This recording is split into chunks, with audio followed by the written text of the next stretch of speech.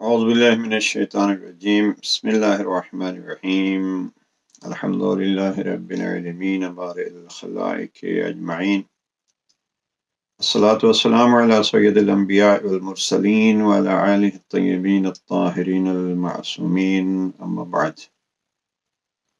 कुरान मजीद और नहजुल बलागा के उन्वान से हमारी गुफ्तगू का ये सिलसिला अल्हम्दुलिल्लाह काफ़ी दिनों से जारी है। आज के सेशन में जिस मौजू पे गुफ्तु करनी है, वो है कुरान और नहजुल बलागा के हवाले से एहसान फरामोशी की मजम्मत। ये एक ऐसा मौजू है जिस मौजू पे गुफ्तु की भी ज़रूरत है अपनी ज़िंदगियों में इस एहसान फरामोशी की कमज़ोरी और इस ऐब के और इस नुकसान के मनफी पहलुओं को जानना ज़रूरी है ताकि हम अपनी ज़िंदगियों में इसको अपना सकें। जैसा कि आप आगाह हैं, कुरान मजीद के उसूल अल्लाह सुबहाना तआला ने बाज़ अवत बड़े ही मुख्तसर अल्फाज में बयान कर दिए हैं। और अगर एक असल को इंसान अपनी ज़िंदगी का महवर बना ले तो कुरान मजीद का कमाल यही है कि इंसान अपनी सारी ज़िंदगी संवार सकता है। उस एक फरमान को महवर बना के इस दुनिया में भी अपने आप को कामयाब कर सकता है और आखिरत की सआदत को भी हासिल कर सकता है। उन फरामीन में से कुरान मजीद का एक बहुत ही मशहूर फरमान और जिसके बारे में कराम फरमाते हैं कि ये कुरान मजीद की जाम तरीन आयात में से एक आयत है। और अम मासूमीन के हालात ज़िंदगी में अक्सर आपको मिलेगा और दीगर बुजुर्गान और खुदा के हालात ज़िंदगी में भी कि जो जुमे के खुतबे इरशाद फरमाया करते थे, उन खुतबात में इस आयत की तिलावत अख्ताम खुतबा पे करते थे। ये आयत सुर नहल की सुर नंबर सोलह की आयत नंबर नब्बे है।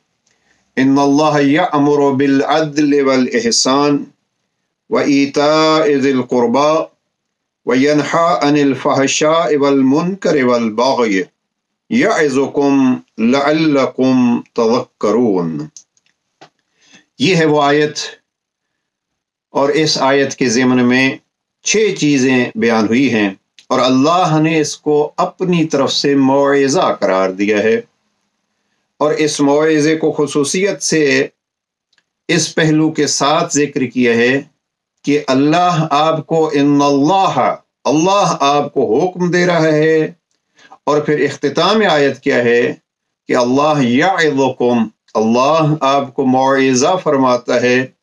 मकसद क्या है? लकुम तवक्करून शायद कि आप फरामोशी से बच जाएँ और ये आपको याद रहे। छह चीज़ों में से दूसरी चीज़ हमारे मौरद नज़र है और आज का हमारा मौजू है। अमर एहसान अल्लाह एहसान का हुक्म देता है। अब, हमारा मौजू चूँकि नाजुलबलागा से मरबूत है, मैं यही अर्ज़ करूँगा कि नाजुलबलागा में देखिए मुफसर कुरान बाब मदीनतुल्म बाब शहर हमत अमीरमिन नाजुलबलागा के आखिरी हिस्से में कलेमात किसार में नंबर 231 में इस आयत की मुख्तसर तरीन अंदाज में तफसीर करते हैं। और यही मैं बार बार हज़ारों बार अर्ज़ कर चुका हूँ। यही महवर अगर हमारा बन जाए कि अल्लाह की किताब की तफसीर अल्लाह के वली से लें। और कभी ये ख्याल नहीं कीजिए कि जब अल्लाह के वली की बात आती है तो पैगंबर अक्रम वसल्लम को माजल्ला माजल्ला हम जो है, वो याद नहीं करते। नहीं। ये अली ज़ात ग्रामी वो हैं जो अली नबी के शागिर्द होने पे फ़ख्र करते हैं। अब हम क्या करें? नबी ने फरमाया, अन मदीनतुल्म वाली बाबुआ इस दरवाजे के ज़रिए से हम नबी पे तक और नबी पैगंबर अक्रम के ज़रिए से हम खुदा तक पहुँचते हैं। अब कलिमात किसार नंबर 231 को ज़रा सुनिए। जनाब अमील फरमाते हैं, फ़ी कौल ही ताला, अल्लाह का ये फरमान इन अमर एहसान इमाम के अल्फाज ये हैं कि यहाँ अल इंसाफ वल एहसान अतफल कि अल्लाह ने यहाँ आदिल से मुराद इंसाफ लिया है और एहसान से मुराद तफजुल लिया है। यानी आदिल क्या है? किसी ने आपके साथ जैसा किया है, आप उसके साथ ऐसा करें। और एहसान क्या है? इमाम फरमाते अतफल यानी उसने जो आपके साथ किया है, आप उससे बढ़ चढ़ के वो काम, वो अच्छा काम उसके साथ करें। अच्छाई का पहलू भी इसमें है। मुफ्ती जावर मरहूम ने खूबसूरत तर्जमा किया, आदल इंसाफ है और एहसान लुत्फ करम है। तफल का माना मुफ्ती साहब ने लुत्फ करम किया है। यानी एहसान में अच्छाई करने में साथ ये पहलू भी रहे कि वो लुत्फ व करम मद नज़र हो। तो ये है एहसान की अहमियत के लिए एक आयत और उस आयत की तफसीर अली अबन अबी तालब से। सूरह नहल की आयत नंबर नबे हो गई और नाजुल बलागा का कलमा नंबर दो सौ इकतीस हो गया बतौर तफसीर। अब ये एहसान की अहमियत के लिए। अब दूसरा पहलू जो एहसान की अहमियत के लिए है, वो सूरह रहमान की आयत साठ है। और ये अल्हम्दुलिल्लाह हमारा बच्चा बच्चा इस आयत को जानता है। और अगर फुर्सत हो तो इसमें गौर भी करनी चाहिए। सूरह रहमान अजब सूरह है और ये सूरह दर्जनों नमात इलाहिया का तस्करा कर किया है और कोई इकतीस दफ़ा फिर कभी कभी यानी दो जुमले कह के एक नेमत याद करके, दो नेमत याद दिला के फिर फरमाते हैं कि फ़ब आला रब कुमातुकबान तुम जिन और इंसान अल्लाह की किस किस नमतों को जुठलाओगे अब यहाँ अगर नमात का तस्करा हो रहा है और जेमन में एहसान का तस्करा है तो ये एहसान भी अल्लाह की की नमात में से एक नमत है। और अल्लाह इस नमत का तस्करा यूँ फरमाता है, हाल जजा उल एहसान एहसान, क्या एहसान का बदला एहसान के अलावा भी कुछ हो सकता है? अब यहाँ सवालिया अंदाज से करीम अल्लाह पूछ रहा है जरा ये जो सवाल कर रहा है, वो सवाल करने को देखिए वाले को देखिए। सवाल करने वाले को पहचानिए। वो क्या पूछ रहा है? वो सवालिया अंदाज में जब पूछता है तो हम अरबी में इसको कहते हैं, ये और ताकीद है। यानी इसका यूँ मफहूम बयान होगा कि एहसान का बदला, एहसान के अलावा कुछ नहीं हो सकता। हल जजा एहसान एहसान। यानी कोई अक्लमंद भी एहसान के बदले में एहसान के अलावा कुछ नहीं देगा, कुछ नहीं करेगा। अल जजाउल एहसान एहसान, ये एहसान की अहमियत का एक और पहलू हो गया। मोहसिन कौन है? यहाँ एहसान करने वाला कौन है? वो है ज़ात ग्रामी परवरदिगार। अब अगर सूर्य रहमान को इस आयत 60 के रूप में देखें तो फिर हर नेमत के तस्करे के साथ हम ये भी दोहराते रहेंगे कि हाँ परवरदिगार, ये तेरी नेमात हैं जिनको अब तक हम अगर झुठला रहे थे। आला रब कुमातुकज़िबान तो हम अब इनको झुठलाएँगे नहीं, बल्कि इनकी तरफ़ मुतवजे रहेंगे। ये सवाल अल्लाह सुबहान ने बाज दूसरी जगहों पे भी किया है। और रामसन, आप देखिए इस एहसान की याद दहानी कराई। अल्लाह के नबी जनाब मूसा को। जनाब मूसा वो हैं जिनका सबसे ज़्यादा नाम कुरान मजीद में इस्तेमाल हुआ है। लेकिन अल्लाह सुबहान तनाब मूसा से भी ये इर्शाद फरमाते हैं। मूसा लकद मर्रतन उखरा। मूसा, हमने आप पर बहुत सारे एहसान किए और अब भी ये आप पर एहसान किया। कोई नौ एहसानात का तस्करा है, लेकिन सबसे पहले जिस तस्कर एहसान का इरशाद फरमाया, वो क्या है? वो तस्करा है जो मशहूर वाक़ है। मूसा, हमने अपने कुदरत से, अपने लुत्फ करम से आपकी माँ पर एहसान किया। वो तो इतनी गमगीन हो चुकी थी कि गोया उसका दिल बैठने वाला था। हमने आपकी माँ को कहा, मूसा की माँ, न डर, न खौफ का हमारे ऊपर एतमाद कर तवक्ल कर, भरोसा कर। हमारे भरोसे पे अपने इस नन्हे बच्चे को दरिया सपुर्द कर दे। हम इसको पलटाएँगे। नहीं मूसा की माँ हम फकत पलटाएँगे नहीं, बल्कि हम हैं, अगर तूने हमारे ऊपर भरोसा किया तो हम इस बच्चे को भी पलटाएँगे। फिर जैसे हुक्मरान को तेरा ममनून एहसान भी बनाएँगे कि तू उसकी परवरिश करेगी। और साथ याद रख, हम इसको नबी और रसूल बना के तेरे पास पलटाएँगे। अब ये है नबी और रसूल बना के पलटाने वाला मोहसिन कौन है? ये जात ज़ात ग्रामी परवरदिगार है, जो मूसा को याद दिला रहा है मूसा, हमने आप पर एहसान किए और इन एहसान के लिए लफ्ज क्या इस्तेमाल किया है? वलकद मन्ना हमने एहसान किया है। अब जब ये लफ्ज मन आता है तो हमारे लिए भी एक जगह पे उसने याद दहानी कराई। और वो याद दहानी अजब है। जरा तवज्जो फरमाइए। वो तो याद दहानी किया है। लकद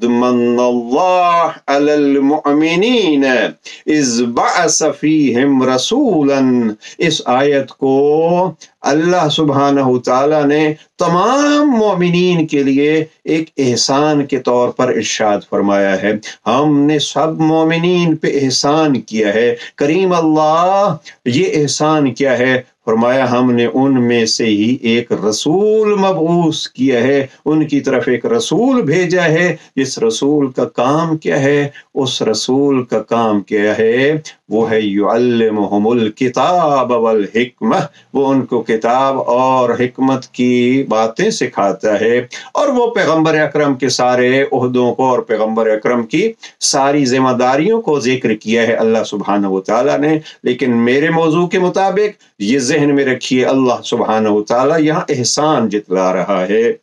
और उन एहसानात में से, जैसे मूसा के लिए वो एहसान तो हमारे लिए नबी अकरम सल्लल्लाहु अलैहि वसल्लम की बेइज्जत खुद एक एहसान है। तो ये तीसरा पहलू हो जाएगा। अगर आप इसको कहें तो पहला वो, अल्लाह सुबहान तआला ने जाम तरीन आयत में फरमाया, अल्लाह हुक्म देता है, अदलो एहसान का। दूसरे में वो पूछता है, हाल जजा उल एहसान एहसान। और फिर जब एहसानात को देखिए तो उसके एहसानात तो मेरे ख्याल में वही है, इन तउद्दू नमत अगर उसके एहसानात को, अगर उसके नमात को, अगर उसके फजल करम को हम गिनना भी चाहें तो गिन नहीं सकते। तो ये है उस करीम अल्लाह के यहाँ एहसानात का एक सिलसिला। एहसानात पे एहसानात और एहसानात पे एहसानात करके हमें ये याद दहानी कराता है कि देखिए, जब कोई मोहसिन होता है, पहला मरहला ये होता है, आप उसको पहचाने, ये है कौन? दूसरा मरहला ये है कि फिर आप उसका शुक्रिया अदा कीजिए। तो अब ये एहसानात के हवाले से अब अगर शुक्रिया के लिए देखना है, हम अल्लाह का शुक्रिया अदा कर सकते हैं। ये हमारे बस में ही नहीं है कि हम अल्लाह का शुक्रिया अदा कर सकें। अब यहाँ यार्ज करूँगा कि अगर उसके नेमात का शुक्रिया अदा करना है तो उस हवाले से एक फुर्सत पैदा कीजिए, वक्त निकालिए, बैठिए। एक अगर कागज़ कलम ले लीजिए तो अल्लाह के एहसानात को लिखना शुरू कीजिए या गिनना शुरू कीजिए। और जब आप गिनते गिनते थक जाएँ तो ये कहिए कि हम तेरी नेमात को गिन नहीं सकते।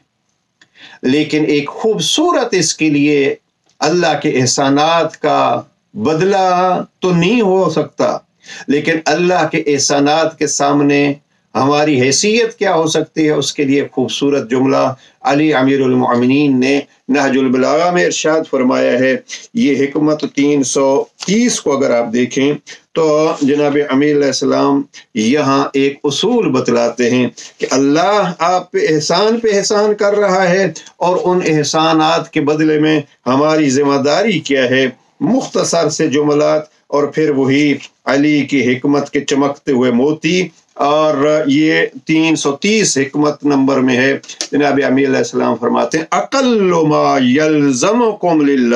अल्लाह तस्ताइनु बिनिअमिही अला मासी पहला हमारा ये है कि आप कम अज कम ये करें, अकल्लो मायलजमकुम आपके लिए कम अज कम जो ज़रूरी है, वो ये है कि अल्लाह ने जो नेमात दी हैं, या यूँ कहूँ, अल्लाह ने जो एहसानात किए हैं, उन एहसानात से फुर्सत उठा हासिल करके, उन एहसानात को अपने वजूद में पा के ये तो कम अज कम न कीजिए कि उन्हीं एहसानात को अल्लाह के खिलाफ इस्तेमाल कीजिए। उन्हीं नेमात को अल्लाह की मुखालफत में खर्च कीजिए। मसलन, अल्लाह ने आपको रिज के हलाल दिया है। अभी रिज के हलाल दिया है तो ये उसने एहसान किया है। अल्लाह ने हमें आज़ाद दिए हैं, ये उसने हम पर एहसान किया है। अल्लाह ने हमें वक्त दिया है, ये उसने हम पर एहसान किया है। अल्लाह ने सोच दी है, उसने हम पर एहसान किया है। बाज़ हम जब साहिब फ़िक्र हो जाते हैं, सोच हमारी काम करने लग जाती है तो हम फिर अल्लाह के मुकाबले में उसी सोच को इस्तेमाल करते हैं। और कुरान मजीद में अल्लाह ने इस तरफ़ इशारा किया है कि जब कारून को माल के बारे में कहा गया तो कारून ने कहा कि ये वो माल है जो मैंने अपनी सोच और अपनी फ़िक्र के हवाले से कमाया है। ये मेरे इल्म के लफ्ज़ ये हैं कि ये मेरे इल्म की वजह से है जो मुझे दौलत मिली है।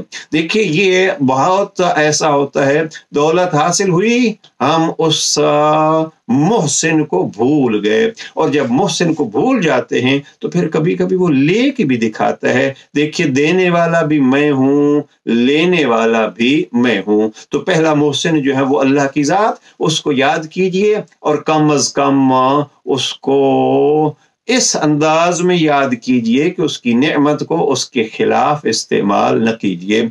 बड़े खूबसूरत यहाँ नाजुलबला के तर्जमे में अलामा मुफ्ती जाफ़र हुसैन मरहूम ने तीन चार पहलू जो बयान किए हैं।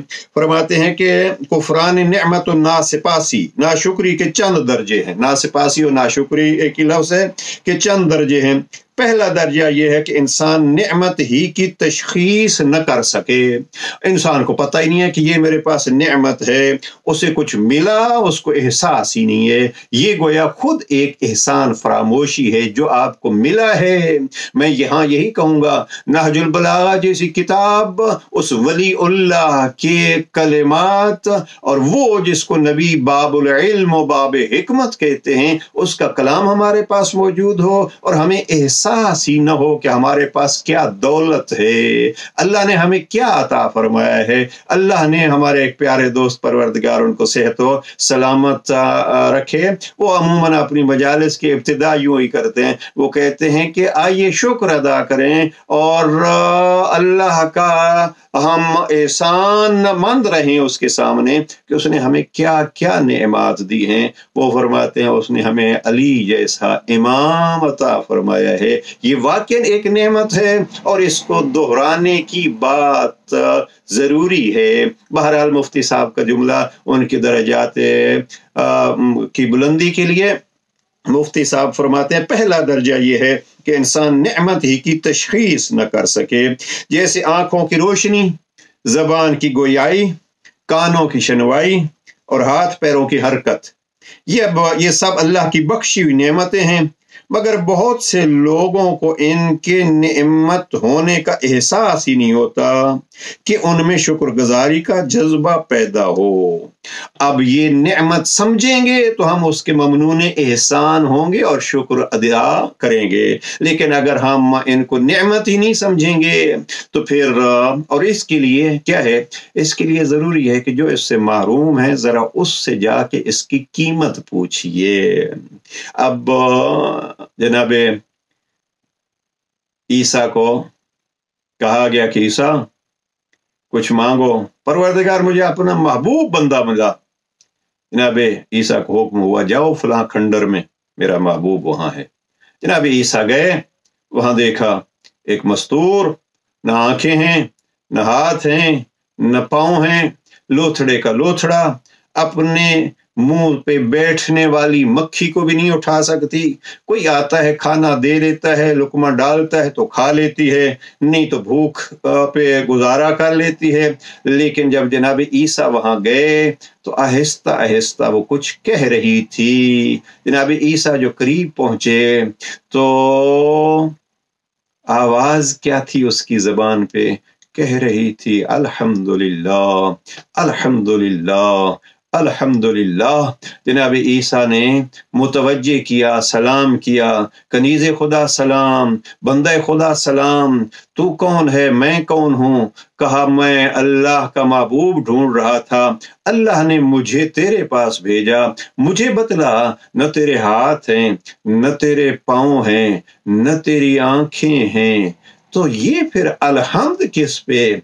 ये मोहतरमा। अल्लाह की हमद का विरद बढ़ाते हुए कहती है, बंद खुदा, जी उसने कम अज कम मुझे ये जबान की नेमत तो अता की है, जिससे मैं उसका नाम ले सकूँ। ये है महबूब खुदा। अब जनाब जनाब ईसा ने अपना तारुफ कराया कि मैं कौन हूँ। यह है अजीज़ान, अगर हम नेमात को पहचाने। बहरहाल अल्लाह की नमात, और वो मौजू एक अलग है। हमारा मौजू है एहसान, फरामोशी की मजम्मत, उस हवाले से हम अर्ज़ कर रहे हैं, एहसान की अहमियत को जानिए तो फिर एहसान मंदी की तरफ़ आएँगे, न कि एहसान फरामोशी की तरफ़। तो ये अल्लाह की नमतों को नमत समझें। दूसरा दर्जा यह है मुफ्ती साहब की इबारत। दूसरा दर्जा यह है कि नेमत को देखे और समझे, मगर उसके मुकाबले में शुक्र बजा न लाए। जानता तो है ये नेमत है, लेकिन उसका शुक्रिया अदा नहीं करता। ये दूसरा दर्जा है नेमात के मुकाबले में। तीसरे दर्जे में मुफ्ती साहब लिखते हैं, तीसरा दर्जा यह है कि नेमत बख्शने वाले की मुखालफत और नाफरमानी करे। अब ये उस पहलू से फ़कत, यानी वो अफराद जो कुफरान नेमत या एहसान फरामोशी करते हैं, उनके दर्जात हैं। वरना तो जैसे ये कनीज़ खुदा, ये वो हैं जो एहसान मंद रहते हैं। लिहाजा ये चार दर्जे एहसान फरामोशी के हैं। और तीसरा क्या हुआ कि नेमत बख्शने वाले की मुखालफत और नाफरमानी करे। और चौथा दर्जा यह है कि उसी की दी हुई नेमतों को उसकी इतात बंदगी में सर्फ करने के बजाय उसकी मासीत व नाफरमानी में सर्फ करे। ये कुफरान नेमत का सबसे बड़ा दर्जा है। यही अली फरमाते हैं, कम अज कम उसके एहसान को याद रखने का और एहसान फरामोशी से बचने का तरीका यह है कि उसने जो एहसान किया है उसके उस एहसान को, उसकी मुखालफत में इस्तेमाल न किया जाए। तस्तीनु ही अला कम अज कम यह है कि अल्लाह की नेमतों को अल्लाह की मुखालफत में इस्तेमाल न कीजिए। और इस सिलसिले बहस में और बिलखसूस एहसान फरामोशी के हवाले से अल्लाह सुबहान तला ने कुरान मजीद में इरशाद फरमाया है, और वह इरशाद ये है कि ला तिलो सदकात मन वल सूरह बकरा की आयत दो सौ चौंसठ है, इरशाद परवरदगार होता है अगर कहीं आप किसी पर एहसान करो तो मुझ रब को याद रखो, जैसे मैं एहसान करता हूँ, आपसे उसका कोई बदला नहीं चाहता। आप अगर मेरी मुखालफत भी करते रहते हैं, मैं फिर भी एहसान करता रहता हूँ। आप मेरा शरीक कार बनाना शुरू हो जाते हैं। आप मेरे मुकाबले में बुत बना के उनकी पूजा शुरू कर देते हैं। लेकिन मैं अल्लाह कभी आपके इन ख़ताओं और आपकी इन गलतियों की वजह से आप को वो नेमात लेके उनसे महरूम नहीं करता। लिहाजा आप भी एक काम करो, अगर किसी पर एहसान किया है, किसी के साथ अच्छाई की है, किसी के साथ भलाई की है तो लातुब तिलु सदकात कुम बिल मन वल अजाम। यह सदकात दोनों मानों में है। आपने अमली तौर पर या माली तौर पर किसी के साथ अच्छाई की है, भलाई की है। किसी राह भूले हुए को किसी भटके हुए को किसी नाबीना को हाथ पकड़ के उसकी मंजिल तक पहुँचा दिया है। हाथ पकड़ के उसको उसके अहलयाल के साथ मिला दिया है। ये एक एहसान है, राह दिखाना एहसान है। किसी की मशवरे के ज़रिए से मदद करना ये एहसान है। और सदक़ात, यानी माली तौर पर भी तो अल्लाह सुबहान तला का इरशाद है कि अगर आपने किसी के साथ भलाई की है, लफ्ज़ एहसान और मन है, अगर किसी ने आपके साथ भलाई आपने किसी के साथ भलाई की है तो उस पर एहसान मत जितलाइए, उसको शर्मिंदा मत कीजिए। हमने आपके साथ ये किया था तो इससे आपके सदकात बातिल हो जाएँगे। तो जनाब अमीरमिन यहाँ इसी आयत के ज़िमन में और या इसी आयत की तफसीर में या इसी आयत की तालीमत के बारे में अपने एक प्यारे साथी, अपने प्यारे सहाबी मिस्र में गवर्नर बना के भेजे जाने वाले जनाब मालिक अश्तर को खिताब फरमाते हैं। ख़त नंबर 53 अगर नहजुलबलागा का आप देखिए, ख़त नंबर थ्री में इन्हीं अल्फाज कुरानी को जनाब अमीरमिन ने अपने अंदाज में पेश किया और ये हुक्मरानों के लिए, ये अहदेदारों के लिए, ये सरपरस्तों के लिए ये अपने मातहतों पे, अपने आप को बोस बनाने वालों के लिए जनाब अमीर इस्लाम ने एक इरशाद फरमाया है और वो इरशाद क्या है? जनाब अमीर इस्लाम फरमाते मालिक इया का वलमन अला रैयत का बेहसान मालिक अपनी रैयत के लिए कभी जो अच्छाइयाँ अंजाम देते हो, अब बाकी क्या सिखाया? इनशाला किसी सेशन में अर्ज़ करेंगे कि रैयत के साथ किस तरीके पे हुसन खुल्क, एहसान के साथ पेश आने का हुक्म दिया है जनाब अमील ने। तो वो ख़त 53 पढ़ने के लायक है, ज़िंदगी गुजारने का और बिलखसूस जिनको अल्लाह ने कुछ तोफीक दी है, कोई अहदा दिया है, कोई पोस्ट दी है, उनके लिए ज़रूरी है कि ये अगर एहसान, फरामोशी की इस मुसीबत से और मर्ज से बचना चाहते हैं तो इस खत को एक दफ़ा पढ़ें कि अली क्या चाहते हैं। कुरान ने कहा, अपने सदक़ात को मन अदा के ज़रिए से, यानी एहसान जितला के और उसको अजियत पहुँचा के, बातिल मत कीजिए, लेकिन उसका एक अमली नमूना अमीरमिन ने हुकूमत की सूरत में माले के अश्तर को बतलाया है। मैं आ, सोचता हूँ कि आकाश इस पे हम अमल पैरा हों। हम बाज़ ये देखते हैं हमारे हुक्मरान अमल पैरा हों। हमारे हुक्मरान अमल पैरा हों और बहुत अच्छा है हों। लेकिन अजीज़ान सामीन और नाजरीन, ये ज़रूरी नहीं है कि हम किसी मुल्क के सदर से तो ये तो करें कि वो अपनी रैयत के साथ एहसान करे। हम किसी वज़ीर आज़म से तो ये तो करें। लेकिन मेरे महतात चार बच्चे हैं, पाँच बच्चे हैं, दो बच्चे हैं, जोजा है तो क्या हम उस एहसान को इस छोटी सी फैमिली में अमली तौर पर अपना रहे हैं या नहीं? जैसे जनाब अमीलाम फरमाते हैं, जैसे अल्लाह की किताब फरमाती है, क्या उस पर हम इस छोटी सी फैमिली में अपना रहे हैं? फिर एक कौम का बड़ा है, उसके महत चंद खानदान हैं, फिर एक शहर का बड़ा है उससे शुरू कीजिए। न के तो हम वज़ीर आज़म और सदर से तो रहें, रखें। गवर्नर और वज़ीर आला से तो ये तो रखें, लेकिन खुद उसको अपनी जिंदगियों में न अपनाएँ। नहीं अमीरमिन इनशाला ये अर्ज़ होगा अमीरमिन घर वालों के लिए भी क्या फरमाते हैं? कुरान मजीद क्या फरमाता है? जनाब पैगंबर अक्रम फरमाते हैं कि अपने घर में बेहतरीन अखलाक के, उनके साथ अच्छाई के साथ पेश आने वाले बनो और फिर जनाब अमीर, जनाब पैगंबर अक्रम अलैहि फरमाते हैं, मैं अपने ख़ानदान के लिए सबसे अच्छा हूँ। ये पहलू होना चाहिए। एहसान क्या है? एहसान के बारे में मजीद अर्ज़ करता हूँ। एहसान ये है कि उसने जो किया है, उसके बदले में कई गुना ज़्यादा दिया जाए। वो करीम अल्लाह, जब फरमाता है, आप एक देते हो, मैं उसके बदले में दस देता हूँ। कभी फरमाता है, एक के बदले में। ये पैगंबर अक्रम वसल्लम और जनाब जब्राइल की गुफ्तगु। कहीं अल्लाह एक के बदले में दस देता है, कहीं नहीं लिखा, अल्लाह एक के बदले में एक देता है। लिखा है, अल्लाह एक एक के बदले में दस देता है। और अगर आप मजीद सदका दें, और वो अफराद जो आपके ज़रूरत के मोहताज हैं, आपके लिए ज़रूरतमंद हैं, और मोहताज हैं आपके, उनको देंगे तो एक के बदले में सत्तर, कभी एक के बदले में सात सौ, कभी एक के बदले में सात हज़ार, कभी एक के बदले में सत्तर हज़ार। मैं हदीस में देख रहा था, एक के बदले में एक लाख। अब ये है इंसान को रसूलुल्लाह सल्लल्लाहु अलैहि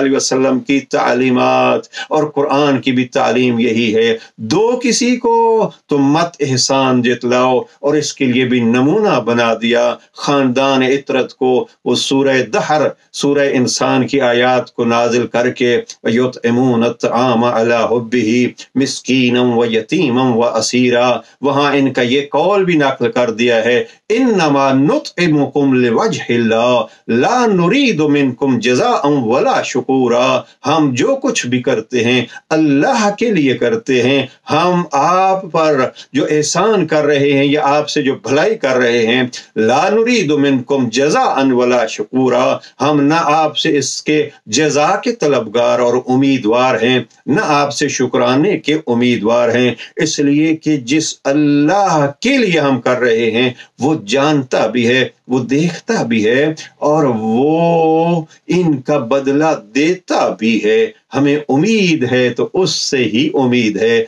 और गोया ये एहसान अदल वल एहसान, ये अहल बैत ने एहसान करके बतलाया। उसका हुक्म है, हम उसके हुक्म के तामील करने वाले हैं। बहरहाल ये अल्लाह सुबहान तला का एहसान और उसके एहसानात को याद रखना है, लेकिन यही अर्ज़ करता रहता, करता जाऊँ कुरान मजीद में लफ्स एहसान को जो देख रहा था, सबसे ज़्यादा लफ्स एहसाना जो इस्तेमाल हुआ है, वो पाँच दफ़ा कुरान मजीद में रब करीम ने अपनी तोहीद के बाद वबिल वालदेन एहसाना, ये लफ्स एहसान पाँच दफ़ा वालदेन के लिए इस्तेमाल हुआ है, अपनी तोहीद का तस्करा करके। अपने साथ शरीक करार देने की नफी करके और रोक के लान अबुदल्ला की वसीयतें और नसीहतें और हिदायत और अम्र करके बार बार कहते हैं, वबिल वालदेन एहसाना, उस मुहसिन कायनात ने, उस परवरदगार ने हमारे लिए एक, होमवर्क बना दिया। मेरे एहसानात को अगर याद करोगे तो याद रखो, मैं अल्लाह एक चीज़ आपको कह रहा हूँ, और वो क्या कह रहा हूँ? एक बार नहीं कह रहा बार बार कह रहा हूँ, कहीं फैला के नहीं कह रहा, अपनी तोहीद के साथ कह रहा हूँ, और वो क्या है वह बिल वालदेन एहसाना, अपने वालदेन के साथ एहसान कीजिए। अब एहसान का माना हम इब्तदा में कर चुके हैं कि एहसान हुआ तफल अली फरमाते हैं कि एहसान नाम है उसके बदले में बेहतर देना। अब यहाँ अल्लाह फरमाता है, वालदेन के साथ एहसान करो। अब हम उनसे बेहतर कैसे कर सकते हैं? बस इतना अगर हम यकीन कर लें कि जो कुछ उन्होंने हमारे लिए किया है हम उनके बदले में उससे बेहतर नहीं कर सकते। तो ये खुद एक बदला होगा एहसान का। और जनाब इमाम जाफ़र सदकलाम का वो फरमान, बारहा वालदेन की अजमत के हवाले से नकल कर चुका हूँ। इमाम से ये किसी ने पूछा, फर्जंद रसूल, ये एहसान क्या है? वालदेन से हम क्या एहसान कर सकते हैं? इमाम फरमाते हैं, वालदेन से एहसान ये है कि उनके दिल की तलब को उनके चेहरों की रंगत से पहचान लो, मफहूम है। उनकी रंगत से पहचान लो वो कुछ हाजत रखते हैं। तो ये नौबत न आए कि उनको वो कहना पड़े, उनको वो अपनी हाजत पेश करनी पड़े, उनको मांगना पड़े। नहीं, आप उनके चेहरों को पढ़िए, उनके दिलों को जानिए, उनकी तलब को जानिए और उनके तलब करने से पहले आप उसको पूरा कीजिए। ये है एहसान बिल वालदेन। और अगर ना पास गुजारी हो, ना शुक्री हो, एहसान फरामोशी हो तो उससे बड़ा क्या होगा? वालदेन, पुकार पुकार कर कुछ कह रहे हों, और हम वालदेन की बात न सुन रहे हों। इससे बड़ी एहसान फरामोशी क्या होगी? रब के एहसान के बाद अगर एहसान फरामोशी की सबसे ज़्यादा खतरनाक पहलू है तो वो क्या है? वो वालदेन के एहसान फरामोशी है। वो माँ की वो मेहनतें, वो बाप के वो गली गली में रात दिन धक्के खा के हमारे लिए रिज के हलाल कमाना, हमें बड़े प्यार से पालना ये अगर हम भूल जाएँगे तो ये एहसान भूलना और एहसान फरामोशी का एक बहुत बड़ा मौजू है। तरबियत औलाद और वालदेन की अजमत ये अलग मौजू हैं। इन किसी वक्त अर्ज़ करेंगे, बस इतना अर्ज़ करता जाऊँ, एहसान को पहचानिए। सबसे बड़े मोहसिन, वो बादस तोहीद। मैं जुमला आजकल आम दोहरा रहा हूँ। आयतुल्ला सैयद मोहम्मद सैन तबा तबाई अपनी तफसीर मीज़ान में, वो बेहतरीन तफसीर उसमें एहसान के ज़िमन में और वह बिल वालदेन एहसाना की तफसीर में लिखते हैं कि अल्लाह की इबादत के बाद सबसे बड़ी इतात का नाम है इताअत फरमा बरदारी वालदेन। और अल्लाह के शिरक के बाद सबसे बड़ा गुनाह है वालदेन की नाफरमानी। अल्लाह के एहसानात को याद रखें और माँ बाप के एहसानात को याद रखें।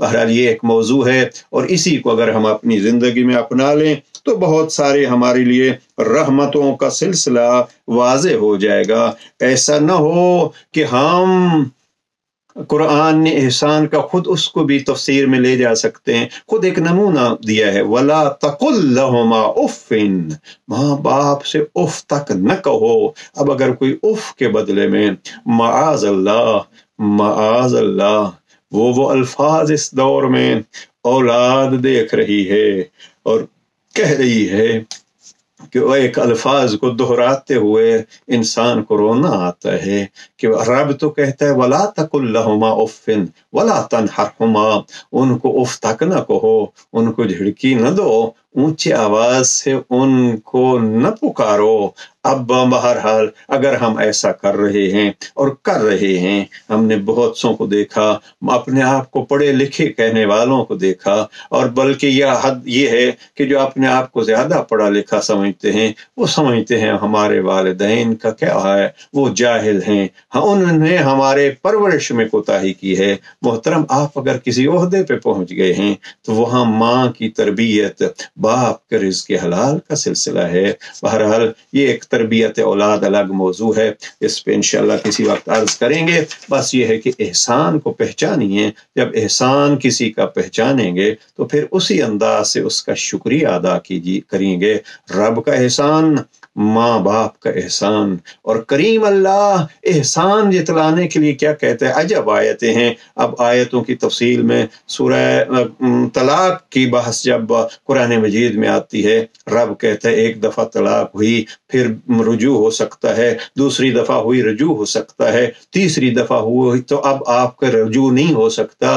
वो मराहल तलाक के, लेकिन जब तीसरी दफ़ा तलाक का लफ्स इस्तेमाल किया है तो अब फरमाता है, अब हमेशा हमेशा हमेशा के लिए जोजा आपसे जुदा हो रही है, लेकिन उसके साथ बर्ताव करो बे एहसान एहसान के साथ बर्ताव करो। देखिए अजीजान, यानी वो मरहला आ गया, मियाँ बीवी एक साथ नहीं रह सकते। तलाक पे तलाक और अब वो रुजू की भी सूरत नहीं। लेकिन करीम अल्लाह वहाँ कहता है कि अगर अलग तो होना है, लेकिन अलग हो इस एतबार से कि एहसान के साथ, अच्छाई के साथ, एक दूसरे के साथ हुसन अमल के साथ, बिलखसूस चूँकि तलाक मर्द की तरफ़ हो रही है, लिहाजा एहसान करें औरत पर। और इसी तरीके पे इस दौर में अगर औरत को तलाक की हद तक भी जाना है तो भी ये आयत याद रखे कि अल्लाह फरमाता है, जुदा हो तो एक दूसरे पर एहसान के ज़रिए से जुदा हो। हाँ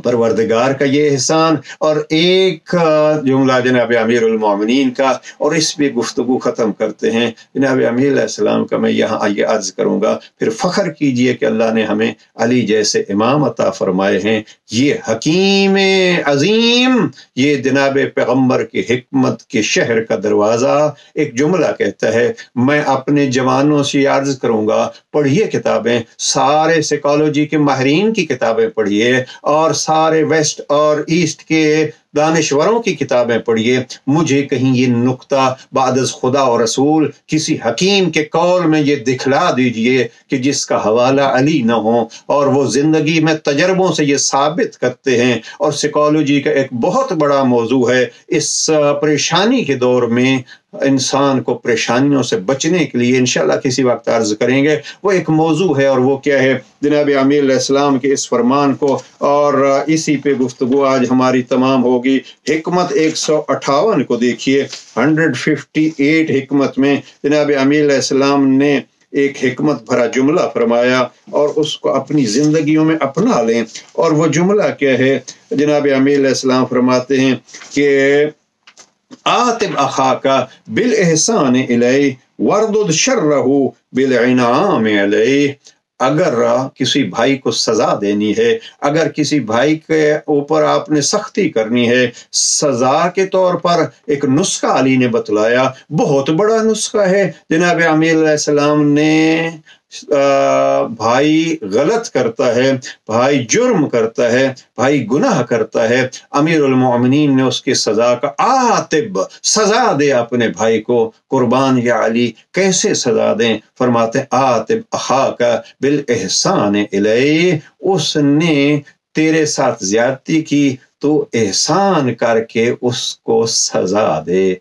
अब अजब सजा है और ये सजा अलामा मुफ्ती जावर हुसैन मरहूम ने इस फरमान के तहत वो तफसीली वाक्य लिखा है जनाब इमाम हसन मुशतबा को वो शामी गालियाँ देता है। जब वो थक जाता है तो इमाम फरमाते हैं आ हमारे घर खाना दें, आराम के लिए जगह दें, सफ़र के लिए सफ़ा, सवारी दें, जाद राह दें। अब इस एक सजा ने ये इसको बदल दिया। वो खुद कहता है, मैं जब यहाँ आया था तो कायनात में सबसे काबिल नफरत शख्सियत मेरे लिए हसन मुशतबा थे, लेकिन ये एहसान का नतीजा क्या हुआ?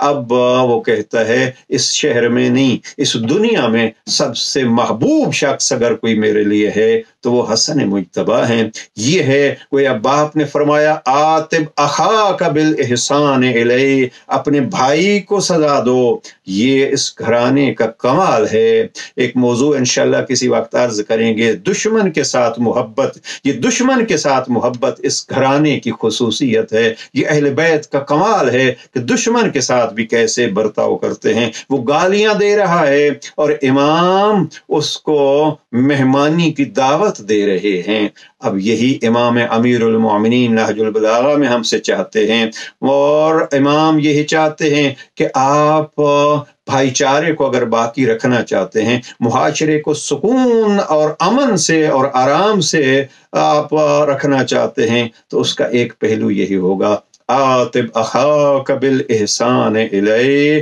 अपने भाई को सजा दो सजा दो उसको एहसान के ज़रिए से। यहाँ मैं इतना अर्ज़ करता जाऊँ कि इस एहसान, फरामोशी की सज़ा क्या है ये अल्लाह फरमाता है, जब हम किसी पे एहसान करते हैं, वो उस एहसान को याद नहीं रखता तो हम भी उसको भूल जाते हैं। यानी हमारे मोहब्बत उसके दिल से निकल जाती है। अब कोशिश करनी चाहिए कि अगर एहसान की अहमियत वाज है तो जो एहसान कर रहा है उस मोहसिन को भी याद रखना चाहिए। लेकिन एहसान, फरामोश ज़माना बन चुका है। आज कोई आपसे फ़ायदा उठाता है तो वो आपको बेवकूफ़ बनाता है। कहते हमने उसको बेवकूफ़ बनाया। ज़माना बेवकूफ़ बनाता रहे। आप एहसानात करते रहिए। यही है हुक्म कुरान यही है। सीरत अमीरमिन अब एक दो अशार अकबर इलाहाबादी का एक बहुत खूबसूरत शेर है। वो इस हवाले से कहते हैं, ये है कि झुकाता है मुखालिफ की भी गर्दन। सुन लो कि कोई शय नहीं एहसान से बेहतर। अगर मुखालिफ की गर्दन झुकानी है तो तलवार और नेजे से मत झुकाओ। उसकी गर्दन झुकाओ एहसान के ज़रिए से। मैं समझता हूँ कि अकबर इलाहाबादी का ये शेर, आतिब अखा का बिल एहसान इले का मंजूम तर्जमा है। क्या फरमाया ये है कि झुकाता है मुखालिफ की भी गर्दन सुन लो कि कोई शय नहीं, एहसान से बेहतर। और एक और शायर का शेर और गुफ्तगु तमाम, वो कहते हैं, सच है, एहसान कभी बोझ बहुत होता है। कोई समझे तो क्या है? सच है कि एहसान का भी बोझ बहुत होता है। चार फूलों से दबी जाती है तुरबत मेरी। यानी अगर मेरी कबर पे कोई आके चार फूल रख दे तो ये उसका एहसान है और इन फूलों का इतना वज़न है कि मेरी कबर दबी जाती है। ये कबर की भी बात है और ज़िंदगी की भी बात है। अगर कोई चार फूल एहसान करके आप पेश कर देता है। यानी कोई ज़रूरत आपकी पूरी कर देता है तो ये हकीकत इंसान की गर्दन को इंसान के आ, सामने झुका देती है और यही है दूसरों की गर्दनें। अगर अपने सामने झुकानी है तो आतिब अखा कबिल एहसान लेकिन अगर कोई एहसान फरामोश हो जाता है तो एहसान करने वालों को आखिरी जुमला घबराना नहीं चाहिए। अहले बैत की तरह इन नमा नुतमुकुम लिवजहिल्ला ला नुरीदु मिनकुम जज़ा वला शुकूरा इसलिए कि बहुत सारे नेक अफराद को हमने एहसान फरामोशी की बिना पे अच्छाइयों से दूर जाते हुए देखा है क्या करें जिसके साथ अच्छाई की करते हैं वो ऐसा बदला देता है हाँ आप किसी से बदले की तो ही न रखें आप अल्लाह से उम्मीद रखें अल्लाह वो है इन आपको उसका बदला इस दुनिया में भी मिलेगा, आखिरत में भी मिलेगा। वसलाम वरहमतुल्लाहि वबरकातुह।